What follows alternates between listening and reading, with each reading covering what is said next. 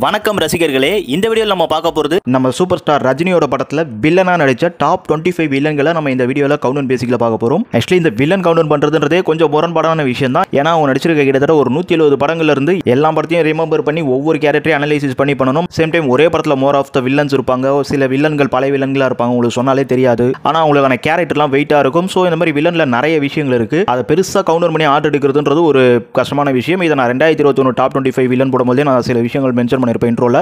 அதே விஷயங்கள் நம்ம ஹீரோக்களுக்கு பண்ணும்போது தான் ஆட் ஆகிறதுக்கான வாய்ப்பு நிறைய இருக்கு. ஆனாலும் இந்த டாப் டுவெண்ட்டி ஃபைவ் வில்லன்கள்ன்றது நம்ம ஒரு நம்பர் கவுண்டனுங்கன்னு மட்டும் இல்லாமல் முடிஞ்ச வரைக்கும் மோஸ்ட் ஆஃபாக இருக்கிற சில வில்லன்களை சொல்கிறேன் அதில் வில்லன்கள்ன்றதை தாண்டி சில இடங்களில் படத்தை சொல்லிடுறேன்.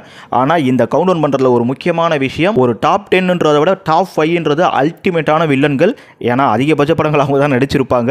ஸோ அதனால் ரஜினிக்கு அதிகபட்ச வில்லன்கள் இல்லாமல் போயிட்டாங்கன்னு சொல்லலாம் அந்த காலத்தில். எஸ் ரஜினி வந்து நிறைய படங்களில் சம் வில்லன்ஸே வந்து திருப்பி திருப்பி வந்து அவர் அவங்க கூடயே ஒர்க் பண்ணியிருக்காங்க. இது ரஜினி மூலமாக கிடையாது. நம்ம எம்ஜிஆர் சிவாஜி உங்ககிட்ட கூட சொல்லலாம். எம்ஜிஆர் நம்பியாரியாக வந்து அசோகனே வந்து பண்ணுவார். அப்புறம் வீரப்பாவே பண்ணுவார். இந்த மாதிரியான ஒரு பேட்டர்னில் வந்து ட்ராவல் ஆயிருக்கும். சரி ஓகே இது பேசிக்கிட்டே போனால் பேசிட்டே தான் போகணும் இன்ட்ரோவில் ஓரளவுக்கு சின்னதாக உங்களுக்கு ஒரு புரிதல் வரணுன்றதுக்கோசம் இன்ட்ரோ போதும் நம்ம இப்போ வாங்க. ரஜினி திரைப்படத்தில் நடித்த டாப் டுவெண்ட்டி ஃபைவ் வீலன்கள் யார் யார் என்னென்ன கவுண்ட் பிடிச்சிருக்காங்கிறத போய் பார்த்துருவோம். இருபத்தஞ்சாவது இடத்துல பார்க்க போகிற வில்லன் சந்திரமுகி படத்தில் சோனு சோடு இருப்பார். ஆக்சுவலி சோனு சோடு வந்து அங்கே வில்லன் சொல்ல முடியாது. இருந்தாலும் நம்ம ரஜினிக்கும் அவருக்கும் ஒரு ஃபைட் சீன் இருக்கும். சோனு சோடு ஒரு பெரிய வில்லனாக இருக்கார் இந்தியா லெவலில் அதனால நம்ம இருபத்தஞ்சாவது இடத்துல இது மென்ஷன் பண்ணிக்கிறோம். நம்ம இதுக்கு மேலே பார்க்க போகிற கவுண்டன் பேசுறதுக்கு முன்னாடி ஒரு சின்ன ஒரு ஸ்பெஷல் அப்பியன்ஸ் மாதிரி சொல்லிடுறேன். ஏன்னா இப்போ சோனு சோட்லாம் வந்து சந்திரமுகியில் பெருசாக வில்லன் சொல்ல முடியாது. ஏன்னா ரஜினி தான் அங்கே வேட்டையான் வில்லனாக இருப்பார். ஆக்சுவலி ரஜினியாக அவருக்கு பெரிய வில்லனாக தான் இருந்திருக்கார் பல படங்களில். அதை தாண்டி அந்த காலத்தில் பார்த்தீங்கன்னா ஆர்எஸ் மனோகர் அப்புறம் இன்னும் நிறைய பேரை நம்ம சொல்லிட்டு போகலாம் ஸோ அவ்வளோலாம் சொல்லி லென்த்தி பண்ண தேவை அதே சமயம் வந்து வந்து இங்கே காலா படத்தில் நாணயப்பட்டகர் வில்லனா பண்ணியிருப்பாரு அந்த மாதிரி ஒரு சில படங்களில் சில பேர்லாம் இருப்பாங்க. எல்லாத்தையும் மென்ஷன் பண்ண ஆரம்பிச்சா வீடியோ ரொம்ப லென்த்தாக போகும். நான் கொஞ்சம் ஷார்ட்டாக பண்ணணும்னு பார்க்குறேன் நம்ம இருபத்தி நாலாவது இடத்துல பார்க்க போகிற வில்லன் சுனில் செட்டி தர்பார் படத்தில் வில்லனை நடிச்சிருப்பாரு. இந்தியில் நல்ல பேர் உள்ள ஆள். இங்கே கூட வில்லனுக்கு நல்ல ஒரு பில்டப் கொண்டு போய் தர்பாரில். கடைசியில் வந்து பெருசாக அந்த அளவுக்கு சாட்டிஸ்ஃபை பண்ணலனாலும் சுனில் செட்டி ரஜினிக்கு வில்லனாக இருந்திருக்காருன்றதுனால நம்ம இங்கே கொண்டு மாட்டோம். நம்ம இருபத்தி மூணாவது இடத்துல பார்க்க போகிற வில்லன் ஜெகபதி பாபு. ஜெகபதி பாபு ரெண்டு படங்கள் பண்ணியிருப்பாரு ஒன்று லிங்கா இன்னொன்று அண்ணாத்த. அண்ணாத்திலே இன்னொரு வில்லன் கூட பண்ணியிருப்பாரு இருந்தாலும் நம்ம பெருசாக வந்து நோட் பண்ணாக்க நிறைய வந்துருங்க. சரி இங்கே ரெண்டு படம் ஜெகபதி பாபு பண்ணியிருந்தாலும் அவர் வில்லன் கேரக்டர்லாம் பெருசாக இருந்திருந்தாலும் ஆடியன்ஸுக்கு வந்து அது பெருசாக ஒரு வில்லனாக ஏற்றுக்க முடியலன்னு தான் சொல்லணும். ஏன்னா அந்த அளவுக்கு மிகப்பெரிய வில்லனுக்கான அழுத்தம் படத்தில் இருக்க மாதிரி அவங்க ஃபீல் பண்ணியிருப்பாங்க ஆனால் ஆடியன்ஸ் கிட்ட அது பெருசாக ஒர்க் அவுட் ஆகல. நம்ம இருபத்தி ரெண்டாவது இடத்துல பார்க்க போகிற வில்லன் கபாலி. கபாலி படத்தில் வந்து நிறைய வில்லன்ஸ் இருப்பாங்க. கிஷோர் ஆகட்டும் அப்புறம் அந்த சைனாக்காரன் அது இதுன்னு சொல்லிட்டு ஒரு கேங்கே இருக்கும் அங்கே. அதனால வந்து நான் கபாலி படத்தில் அந்த வில்லனடி கேரக்டர்லாம் கொஞ்சம் நல்லா இருக்கும்ன்றனால இந்த படத்தை நான் மென்ஷன் பண்ணிக்கிறேன். நம்ம இருபத்தொராவது இடத்துல பார்க்க போகிற வில்லன் ஸ்ரீகாந்த். ஸ்ரீகாந்த் வந்து பைரவின்ற படத்தில் நம்ம ரஜினிக்கு வில்லனாக இருந்திருப்பார். ஆக்சுவலி அவர் அந்த டைமில் ஒரு நல்ல ஹீரோவாக இருந்துட்டு இருந்தாரு பட் நம்ம பைரவி கதைப்படி பார்த்தீங்கன்னா அவர் வில்லனாக இருப்பார். அதனால் அவர் மென்ஷன் பண்ணுறோம் நம்ம இருபதாவது இடத்துல பார்க்க போகிற வில்லன் வினி சக்கரவர்த்தி. வினி சக்கரவர்த்தி அந்த டைமில் நிறைய வில்லன்ஸ் பண்ணியிருக்காரு. அதே சமயம் ரஜினிக்கும் நிறைய படங்களை பண்ணியிருக்காரு. அல்ல வில்லன்றதை தாண்டி வந்து குணச்சித்திரம் அப்புறம் வந்து நகைச்சுவை இந்த மாதிரி சில இதெல்லாம் கலந்துரும் அவருக்கு. எனவே வினி சக்கரவர்த்தியை நம்ம ரஜினி கூட ஒரு வில்லனாக சேர்த்து சொல்லலாம். பெருசாக யாருக்கும் தெரியலன்றதுனால கவுண்டர்லாம் இங்கே பெருசாக எடுத்துக்க தேவையில்ல. நான் இந்த மாதிரிலாம் பண்ணியிருக்காங்க அப்படின்னு சொல்ல வரேன் இந்த வீடியோவில் ஏன்னா பெருசாக ரெஃபர்லாம் எடுத்து சொல்லணும்னாக்கா அது மிகப்பெரிய ஒரு வீடியோவாக மிகப்பெரிய டைம் எடுத்து பண்ண வேண்டிய மாதிரி ஆகிடும் நம்ம பத்தொன்பதாவது இடத்துல பார்க்க போகிற வில்லன் ஆனந்த்ராஜ். ஆனந்த்ராஜ் பத்தொன்பதாவது இடமா? அவர் எவ்வளோ பெரிய வில்லன் தெரியுமா? அந்த டைமில் நினைப்போம். பட் ரஜினிக்கு அவர் நிறைய வில்லன் பண்ணல. பாட்சால அடிக்கிற மாதிரி வரும். மல்லியம் சாமு ஒன்னூர் இல்லை ரெண்டு மூணு சீன் தான் வந்திருப்பாரு. ஆனால் ராஜாதி ராஜால வந்து ஒரு வில்லன் ஆகிறதுக்குலாம் முன்னாடியே வந்து அந்த படத்தில் ஒரு வில்லனாக வந்திருப்பார். அங்கேயும் பெரிய வந்து ஒரு மிரட்டுற வில்லன்லாம் கிடையாது. ஆனால் ஆனந்த்ராஜ் ஒரு செம்ம மிரட்டலான வில்லனாக இருந்தார் அந்த டைமில் பட் ரஜினி கூட பெருசாக காம்போ இல்லைன்றதுனால நம்ம இந்த அளவுக்கு கவுண்ட் டவுன் பண்ணியிருக்கோம் நம்ம பதினெட்டாவது இடத்துல பார்க்க போகிற வில்லன் நாசர். நாசரும் ரஜினி கூட ரொம்பவே நிறைய படங்கள் பண்ணல. பிகாஸ் நாசர்லாம் பார்த்தீங்கன்னா தமிழ் சினிமாவில் ஒரு முக்கியமான வில்லனா நிறைய படங்களில் பண்ணியிருக்காரு. பட் ரஜினி கூட வந்து வேலைக்காரனில் பண்ணியிருப்பார். அப்போவும் அவர் வந்து பெருசாக வந்து இது கிடையாது. பட் வேலைக்காரில் பார்த்தீங்கன்னா அவர் ஒரு நெகட்டிவ் ஷேடு தான். அதுக்கப்புறம் பழைய பல வந்திருப்பார். இன்னும் சில படங்களில் வந்திருப்பார். ஆனால் அவருக்கான அந்த வில்லனடிக்கின்றது பார்த்தீங்கன்னா ரஜினி கிட்ட பெருசாக வந்து எடுப்படுற மாதிரியான படங்கள் இல்லைன்னு சொல்லலாம். நம்ம பதினேழாவது இடத்துல பார்க்க போகிற வில்லன் மணிவண்ணன். மணிவண்ணன் வில்லன் அவர் காமெடியன் குணச்சித்திரம் நிறைய பேர் நினச்சிருப்பீங்க. ஆனால் மணிவண்ணன் அந்த டைமில் ஒரு வில்லன் அப்படின்ற ஒரு ஷேடம் அவர்கிட்ட இருந்தது. கொடி பறக்குதுன்ற படத்தில் பாரதி ராஜா வந்து வாய்ஸ் கொடுத்து அதில் நல்ல ஒரு வில்லனாக இருந்திருப்பார். அப்புறம் படையப்பல கூட அவர் ஒரு நெகட்டிவ் ஷேடு உள்ள கேரக்டர் தானே. ஆக்சுவலி கொடி பறக்குதுன்னு பார்க்கும்போது மணிவண்ணன் ரஜினி அந்த வில்லனடிக்கு வந்து கொஞ்சம் நல்லா இருக்கும்ன்றதுனால நம்ம கொஞ்சம் டாப் பண்ணியிருக்கோம் நம்ம பதினாறாவது இடத்துல பார்க்க போகிற வில்லன் விஜயகுமார். விஜயகுமார் ரஜினிக்கு நிறைய வந்து செகண்ட் ஹீரோ சப்போர்ட்டிங் அப்புறம் நிறைய விஷயங்கள் பண்ணியிருக்காரு ரஜினி நிறைய படங்கள் வந்திருக்காரு. பட் வில்லனா பார்த்தீங்கன்னா ஒரு சில படங்களில் பண்ணியிருக்காரு அந்த படங்கள்லாம் ரெஃபர் எடுத்து சொல்லி இமேஜ்லாம் போட்டு டைம் ஆகுங்க. நம்ம அடுத்த வில்லன் போயிடலாம். நம்ம பதினஞ்சாவது இடத்துல பார்க்க போகிற வில்லன் அம்பரீஷ் பூரி. அம்பரீஷ் பூரி வந்து இதில் ஒரு பெரிய இமேஜ் உள்ளவர். அவர் வந்து நம்ம தளபதி படத்தில் வில்லனா வந்திருப்பார். முட்டைட்லாம் சின்ன கொஞ்சம் பார்க்குறதையே கலிவர்தன் அப்படிங்கிற மாதிரி கொஞ்சம் பில்டப்டாக இருக்கும். ஆக்சுவலி ஒரு ஒரு படம் தான் பண்ணியிருப்பார் நினைக்கிறார் ரஜினி கூட தமிழில். பட் இவருக்கான அந்த வில்லன் நடிக்கின்றது கொஞ்சம் பெருசாக இருக்குன்றனால கவுண்டரில் டாப் கொண்டு வந்திருக்கேன். நம்ம பதினாலாவது இடத்துல பார்க்க போகிற வில்லன் சரண்ராஜ் சரண்ராஜ் வந்து ஹீரோவும் பண்ணியிருக்காரு அப்புறம் அந்த டைமில் வில்லனாகவும் இருந்திருக்காரு சில படங்களில். நம்ம குறிப்பாக சொல்லலாம்னா பணக்காரன் படத்தில் வந்து அவருக்கு தம்பி கேரக்டராக இருந்தாலும் அவர் வந்து ரொம்பவே நெகட்டிவ் ஷேட் உள்ள கேரக்டர் அது மட்டும் இல்லாமல் அவர் தான் அந்த படத்தில் வில்லன் சொல்லி ஆகணும். அதே மாதிரி தர்மதுரையிலையும் தம்பியாக இருப்பார். இங்கேயும் நெகட்டிவ் ஷேடு கேரக்டர் தான். அண்ணனை ஏமாத்துற ஒரு தம்பிங்களா இருந்திருப்பார். அப்புறம் நிழல்கள் ரவியும் இங்கே தம்பியாக இருப்பார். அவரும் வந்து ரஜினி கூட சில படங்கள் வந்திருந்தாலும் மென்ஷன் பண்ணிக்கிறேன். கவுண்டுன்னு தரல. ஏன்னா இந்த மாதிரி ரொம்ப நூல் பிடிச்சி நூல் பிடிச்சி போனால் டிஃபிகல்ட்டாக போயிடும் கவுண்டோனே அப்புறம் நம்ம சரண்ராஜ் வந்து ரஜினி கூட பாச்சால வந்து ஃப்ரெண்டெல்லாம் பண்ணியிருப்பார் இன்னும் ஒரு சில படங்கள் ரஜினி கூட பண்ணியிருந்தாலும் பணக்காரனை கண்டிப்பாக நம்ம சரண்ராஜுக்கு சொல்லி ஆகணும். ரஜினியோட வில்லன்ற கேரக்டரில் நம்ம பதிமூணாவது இடத்துல பார்க்க போகிற வில்லன் மோகன் பாபு.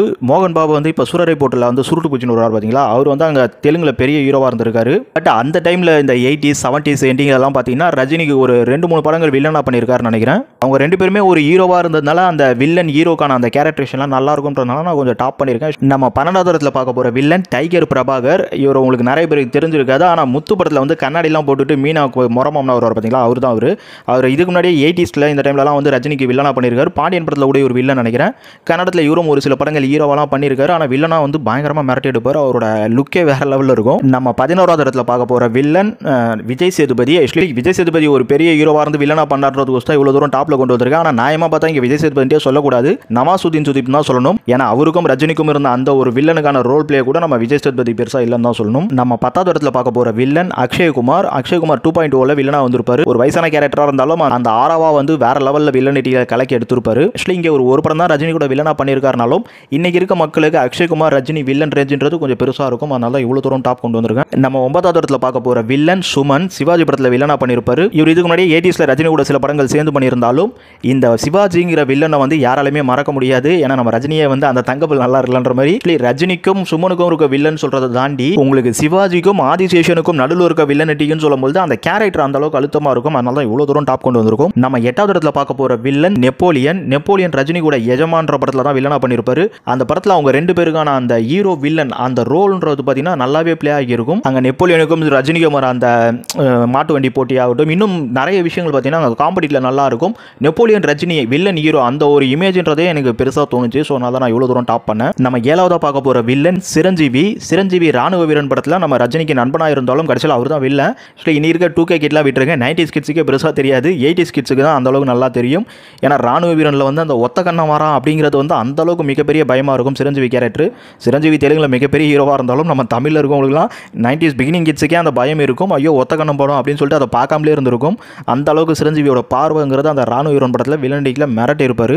நம்ம ஆறாவது இடத்துல பார்க்க போகிற வில்லன் இவங்க வில்லனில் வில்லி ஏன்னா ரம்யா கிருஷ்ணன் வந்து படையப்பா படத்தில் பண்ணி எடுத்த அந்த வில்லத்தனமான கேரக்டர்ன்றது வேற லெவல் ஸோ இவங்களை இவ்வளோ தூரம் டாப்பில் கொண்டு வரது இன்னமும் மேலே கொண்டு போகலாம் ஆனால் இதுக்கு மேலே இருக்க டாப் ஃபைவ் வில்லன்கள் பார்த்தீங்கன்னா நிறைய படங்கள் பண்ணியிருக்க ஒரு காரணத்தால் நம்ம ரம்யா கிருஷ்ணனை ஒரு படம் பண்ணியிருந்தாலும் இந்த அளவுக்கு ரஜினிக்கு வில்லன் அப்படின்ற ஒரு கேரக்டரில் மெயினில் கொண்டு வந்திருக்கும். ஆனால் ஒன்று ரஜினியோட கேரியர்லேயே பல வில்லன்கள் இருந்தாலும் ஒரே ஒரு மிகப்பெரிய வில்லி யாருன்னு கேட்டிங்கன்னா அது கண்டிப்பாக ரம்யா கிருஷ்ணன் தான். சரி நான் இன்ட்ரோ சொன்ன மாதிரியே டாப் டுவெண்ட்டி ஃபைவ் நீங்கள் என்ன தான் எடுத்தாலும் அதில் டாப் டென் தான் வர்த்தாக இருக்கும்னு இருப்பேன்.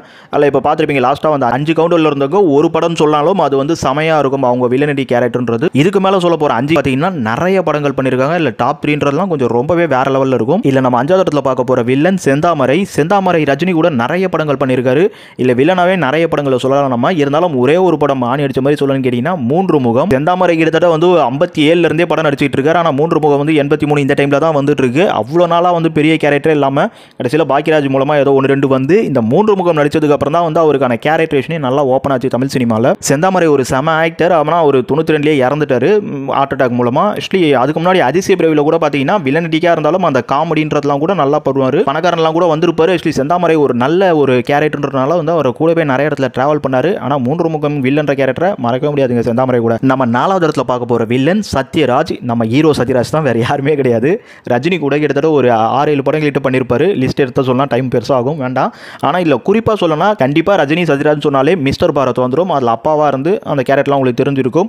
அந்த வில்லனடி கேரக்டர் மட்டும் இல்லாமல் தம்பிக்கு அந்த ஒரு நான் மகான் அல்ல. அப்புறம் நான் சிகப்பு மனிதனில் கூட வந்து நல்ல ஒரு வில்லன் இன்னும் ஒரு சில படங்களில் நல்ல ஒரு வில்லனா சத்யராஜ் வந்து நம்ம ரஜினிக்கு இருந்திருக்காரு. நம்ம மூணாவது இடத்துல பார்க்க போகிற வில்லன் ஜெய்சங்கர். ஜெய்சங்கர் அந்த டைமில் ஹீரோவாக இருந்து நம்ம ரஜினிக்கோசம் முரட்டுக்கலையில் வில்லனாக வந்திருப்பாரு. அதுக்கப்புறம் நிறைய படங்கள் வில்லனா பண்ணியிருக்காரு ரஜினி கூட. சில கேரக்டர் ஆர்டிஸ்ட் நிறைய விஷயங்கள்லாம் பண்ணியிருந்தாலும் இதில் வில்லனா பார்த்தீங்கன்னா நிறைய சொல்லலாம். பாயம் புலி படிக்காதவரும் இன்னும் பல படங்கள் ஜெய்சங்கர் ரஜினிகாந்த் சேர்ந்து வில்லனாக நடிச்சிருப்பாங்க. கண்டிப்பாக ரஜினி ஜெய்சங்கர் வில்லன் பேருன்றது ஒரு மிகப்பெரிய பேர். நான் ஏற்கனவே சொல்லியிருப்பேன். டாப் த்ரீ வந்து வேற லெவலில் இருக்குன்ட்டு. அதெல்லாம் ஜெய்சங்கர் ரஜினி காம்போ வில்லன்றது தெரிக்கும். பழைய படங்கள்லாம் பார்த்து பாருங்க தெரியும். எனக்கு தெரிஞ்சு துடிக்கும் கரங்கள் கூட நினைக்கிறேன். இன்னும் நிறைய படங்கள் மைண்டில் வருது. வேண்டாம் இமேஜ் எல்லாம் தேடணும். ஐயோ அடுத்த கொண்டு போயிடுவோம். நம்ம ரெண்டாவது இடத்துல பார்க்க போற வில்லன் ராதா ரவி ராதா ரவி ரஜினி. இவங்க ரெண்டு பேரும் அதிகபட்சமான படங்களில் வில்லன் நடிச்சிருக்காங்க.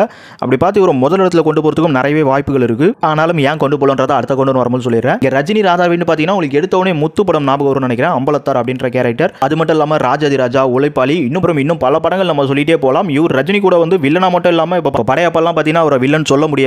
ஆர்டிஸ்டாக நடிச்சிருப்பாரு. But Rajini Radha Ravi villain combo வேற லெவல் ஒரு காம்போ இதுக்கெல்லாம் டெப்த்தான ஒரு வீடியோ போடும்போது உங்களுக்கு அதுக்கான விஷயம் புரியும். இப்போ ஒரு பேக்கேஜாக போகிறதுனால நம்ம இந்த அளவுக்கு போதும். நம்ம கவுண்டரில் முதல் இடத்துல பார்க்க போகிற வில்லன் ரகுவரன். ரகுவரனை வந்து நம்ம முதல் இடத்துல வைக்காம போகவே முடியாது. இவருக்கும் ராதா ரவிக்கும் காம்படிஷனாலும் கண்டிப்பாக இல்லை ஜெயிச்சிருவாருங்க. ஏன்னா பாட்சாங்கிற ஒரு படம் போதும். ரஜினி ரகுவரன் வில்லன் கேரக்டருக்கு இருக்கிற அந்த மாசுக்கு அதை தாண்டி அருணாச்சலத்தையும் அவர் தான் ஒரு மெயின் வில்லனாக இருப்பார். முத்துல வந்து என்னதான் வில்லன் நீட்டிக்காக இருந்தாலும் அது அந்த அளவுக்கு பெருசாக இருக்கான்னு வச்சுங்க. ஆனால் ஊர்காவலன் ராஜா சின்ன ரோஜா இன்னும் பல படங்கள் நிறைய படங்களில் வந்து ரஜினிக்கு சிவா கூட ஒரு மனிதன் இன்னும் சில படங்கள் இருந்தாலும் ஆக்சுவலி இங்கே நம்பர் ஆஃப் த மூவி மதிய பாட்சா போதுங்க. ரஜினி ரகுவரன் காம்போ தான் முதலிடம். அப்புறம் இங்கே ஒரு ஸ்பெஷல் அப்ரேஸ் நான் வந்து ஆல்ரெடி பேசியிருப்பேன். இருந்தாலும் சொல்கிறேன் ஆக்சுவலி நம்ம டாப் டுவெண்ட்டி ஃபைவ் ரஜினிக்கான வில்லன்களை பார்த்தல. ஆனால் இதில் இவங்களெல்லாம் விட வந்து ஒரு முக்கியமான வில்லனாக சொல்லணும்னா நம்ம ரஜினியே பெரிய வில்லன் தாங்க. அவரே வந்து நிறைய படங்களில் வில்லனா நிறைய பேருக்கு பண்ணியிருக்கிறது மட்டும் இல்லாமல் அவர் படங்களே சில வில்லன் பண்ணியிருக்காரு. அதை தாண்டி ரஜினிக்கு ரஜினியே வந்து வில்லனா எந்திரன் படத்தில் இருந்திருக்காருல ஸோ நம்ம சத்யராஜ் தான் வில்லாதி வில்லனும் எனக்கு தெரிஞ்சு ரஜினியும் ஒரு பெரிய வில்லாதி வில்லன் தாங்க. அதனால தான் நம்ம ஆக்டர் காம்போவில் வந்து வில்லன் போடும்போது ஃபர்ஸ்ட் ரஜினிக்கான வில்லனை போட்டிருக்கோம்.